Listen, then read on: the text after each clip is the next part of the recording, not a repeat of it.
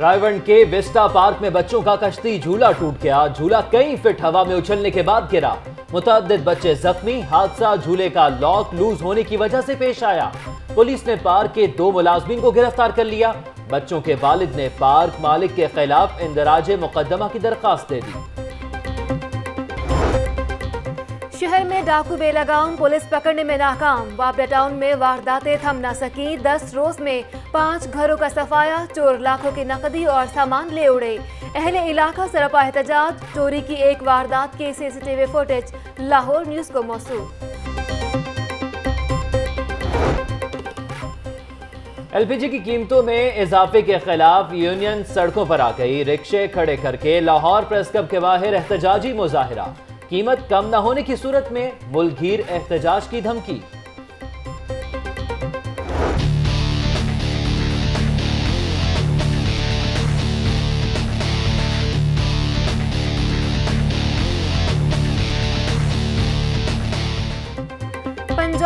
پہلے مرحلے میں پندرہ وزراء میاں محمود رشید کا ہاسنگ علیم خان کو بلدیات میاں اسلم اقبال کو اطلاعات کا قلم دان سونپے جانے کا امکان۔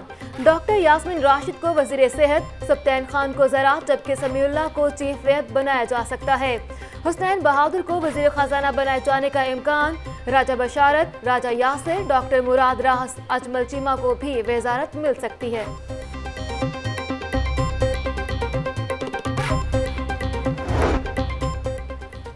مرکزی جمعیت اہل حدیث کا صدارتی انتخاب میں اپوزیشن کے امیدواروں کی حمایت کا اعلان۔ الیکشن میں دھاندلی کو بے نقاب کرنے کے لیے پارلیمانی کمیشن کی تشکیل کا بھی مطالبہ۔ عام انتخابات کے نتائج انجرڈ تھے۔ سینیٹر پروفیسر ساجد میر کا مرکزی مجلس عاملہ میں خطاب۔ ہالینڈ میں گستاخانہ خاکوں کے اشاعت کے خلاف مذمتی قرارداد منظور۔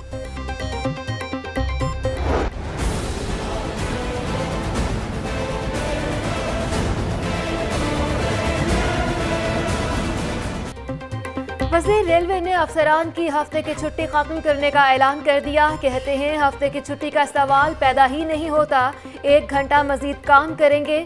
ایک سو تیس دنوں میں ریلوے کو اپنے پاؤں پر کھڑا کریں گے۔ شیخ رشید کا دعویٰ، ابھی بڑی مچھلیوں پر ہاتھ ڈالیں گے۔ ریلوے کے کرائے بڑھانے کا فیصلہ نہیں کیا گیا۔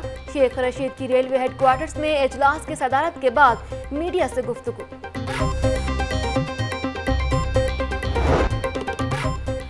آج کرپٹ اور جھوٹ بولنے والے کامیاب ہیں۔ جماعت اسلامی نے کبھی ایسا راستہ نہیں اپنایا۔ اسلام فساد فلرز کی اجازت نہیں دیتا۔ ملک میں دین اسلام کے نفاذ کے لیے پرم طریقہ اپنانا ہوگا۔ امیر جماعت اسلامی سراج الحق کا جماعت کے ستتر میں یوم تاسیس سے خطاب۔ فرید پراچا بولے، دھڑا بندی کے بعد بہت سی جماعتیں ٹوٹ چکی جماعت اسلامی آج بھی متحد ہے۔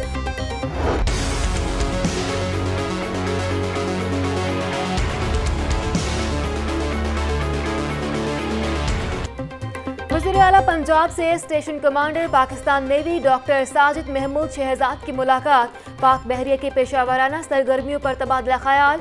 P T I, M P A Nadeem Abbas بارہ سے بھی ملاقات ہوئی۔ بولے، نئے پاکستان کے لیے محنت اور جانفشانی سے کام کرنا ہے۔ سپریم کورٹ کے حکم پر میئر لاہور متحرک ہو گئے۔ مال روڈ کے بڑے حصے سے بینرز اتار دیے گئے۔ لیکن مکمل صفایا نہ کیا جا سکا۔ سپریم کورٹ رجسٹری کے قریب ہی سیاسی جماعتوں کے بینرز تاحال موجود۔ بتی چوک، موہنی روڈ بھاٹی چوک میں بھی سیاسی جماعتوں کے فلیکسز دیکھے جا سکتے ہیں۔ پاک بھارت آبی تنازعہ مذاکرات کل ہونے کا امکان۔ بھارتی وفد لاہور پہنچے گا۔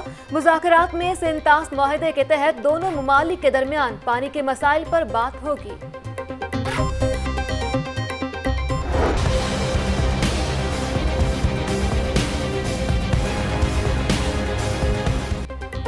Rizwan garden phase two society Manawa میں سیوریج کا ناقص نظام گلیاں، محلے، تالاب کا منظر پیش کرنے لگی۔ علاقہ مکین اذیت میں مبتلا۔ امام ٹاؤن تاجپورہ میں گندا پانی گلیوں میں داخل۔ علاقہ جوہر کا منظر پیش کرنے لگا۔ ایشیا کپ کے لیے قومی کرکٹ ٹیم کے تربیتی کیمپ کے لیے چھبیس کھلاڑیوں کا اعلان۔ کھلاڑیوں میں سرفراز احمد، فخر زمان، امام الحق، بابر اعظم، شعیب ملک، شاداب خان شامل۔ محمد نواز، اماد وسیم، حارث سہیل، جنید خان کو بھی بلوایا training camp. Army school of physical training میں لگایا جائے گا۔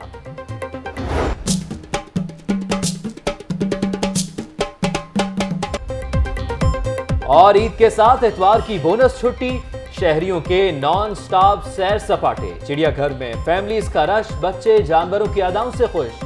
گریٹر اقبال پارک میں بھی گہما گہمی۔ سوزو واٹر پارک میں خوب ہلا کلا موج مستی۔ راوی کنارے بھی لاہوریوں کے ڈیرے، کشتی رانی سے لطف اندوز۔